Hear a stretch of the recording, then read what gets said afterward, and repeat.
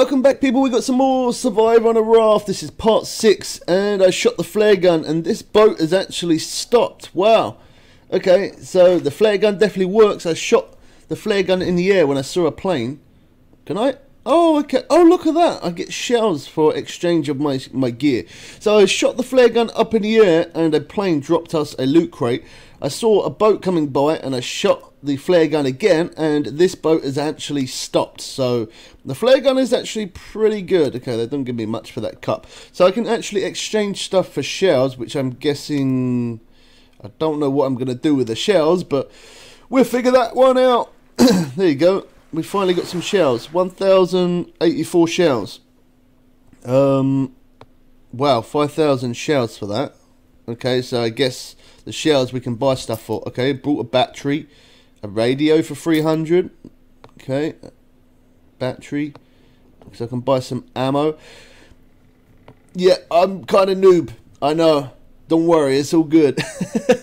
I'm learning at this stage um, I've never had this boat turn up here before so I can basically sell him my loot for shells and then from shells I can then buy stuff an umbrella I don't know what I'm gonna do with that but yeah, I can then exchange the shells for stuff that he has on the boat. Can I buy anything in there? Nope.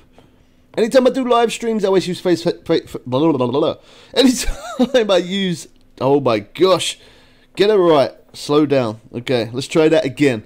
Anytime I do live streams, I always use Facecam and mic. Anytime I make videos like this, I just randomly hit record. They're quicker for me to make videos like this. It doesn't actually give me that much for the uh, for the seaweed.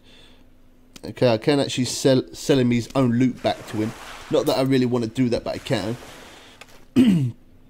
Yeah, so yeah, for the live streams, Facecam and mic, when I make videos like this, it's a lot quicker for me to hit record, and um, these videos turn out to be the best videos because I'm just randomly hitting record. For me to set up the face cam every time is quite time consuming. Don't worry, I'm still going to be live streaming the games that we normally do.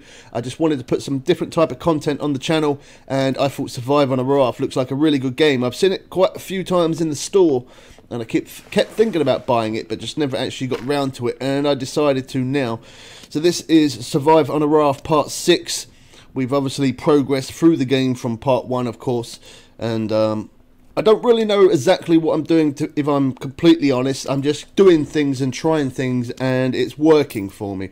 I'm just doing things for luck. What I do with the radio and battery and that kind of stuff, I don't really know. So if you've ever played this game before, there you go, I can buy a battery. If you've ever played this game before, um, leave comments below in the comments section. Any type of tricks, tips, or anything like that, I will definitely appreciate it. You can play this game as creative mode, so that way you can just basically build anything at first.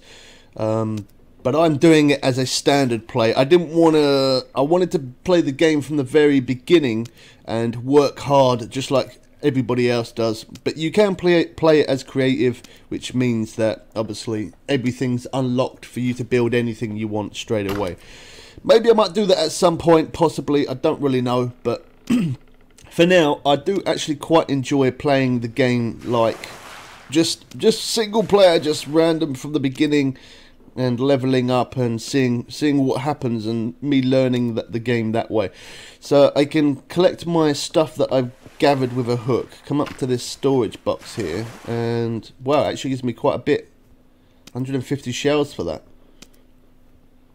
Yeah, actually gives me quite a bit. So I guess the loot that I'm getting, if I don't really need it, I could always sell it to this guy and maybe even get even more materials, sell it to this guy and buy other things that I need. I don't know how I'm going to use the radio or the battery or or whatever else. That stuff I'm going to have to going to have to figure that out and learn that as as time goes on, but I will definitely do that. I probably do that for um, maybe part 7 or part 8 or something like that. I'm not quite sure um, what I'm going to be doing with that, but I definitely single pi single pistol. Okay, I'm going to buy that just as a backup, and I'm definitely going to get the flashlight as well.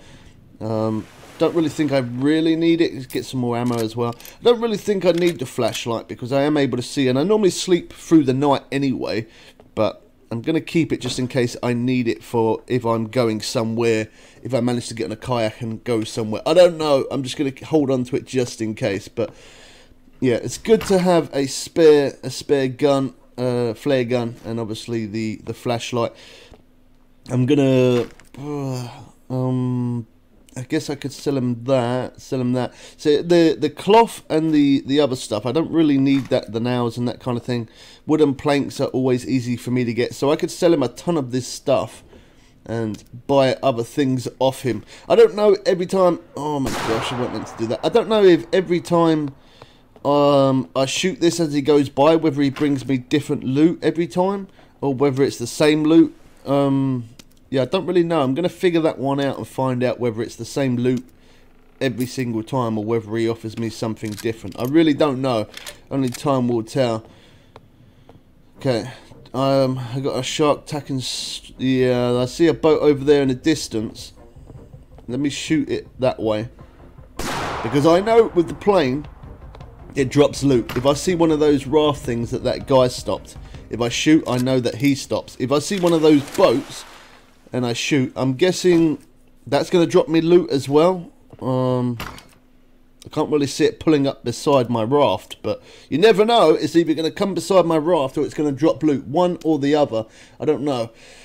Uh, yeah, I might as well sell him all of this stuff because all of this I can regain back. Whereas if the stuff that he's got on the boat is stuff that I've never seen before, I don't know if that boat's going to stop or drop me loot. I really don't know what that's going to do. But I might as well sell him all the stuff that I've got because it's easy for me to, to get it back again.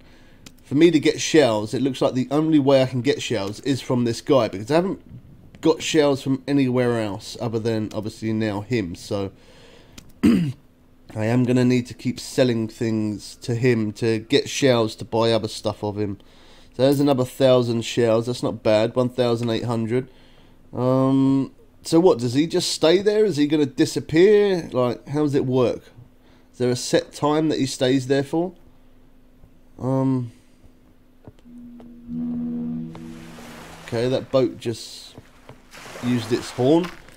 Um, okay, let me put the ammo in there. Reload that. Oh, look! So if the horn goes off, it must drop a loot crate, because there's a loot crate from that boat. Okay, perfect. Do I get any way bills from that? I don't think I did. I don't know how long that other boat stays there for. That that boat that's beside me, I have no idea how long that's going to stay there for, but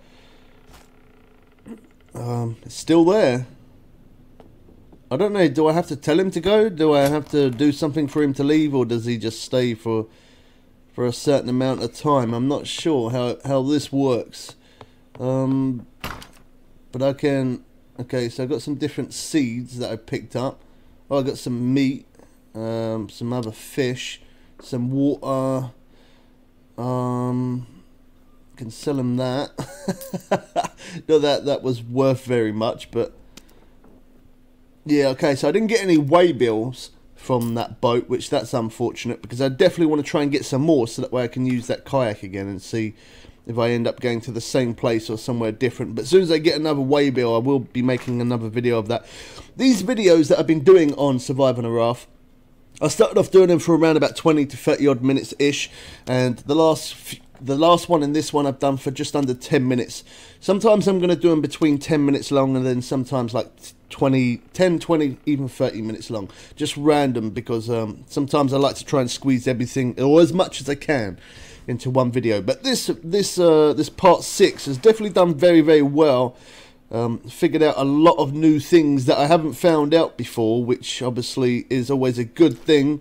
Knowing about the plane shooting the flare gun, it drops loot. That boat drops loot. That boat there, if I shoot the flare gun, that also stops, and we can exchange things with him. So through this part 6 I've definitely figured out a lot more. So make sure you subscribe turn notifications on so you don't miss out for part 7 and we'll find out what's going to happen in part 7 don't forget to drop a like as well. Also lets us know that you are still enjoying Survive on a Raft. Hope you guys did enjoy this one. We catch you people again soon for some more fun and games. I'm out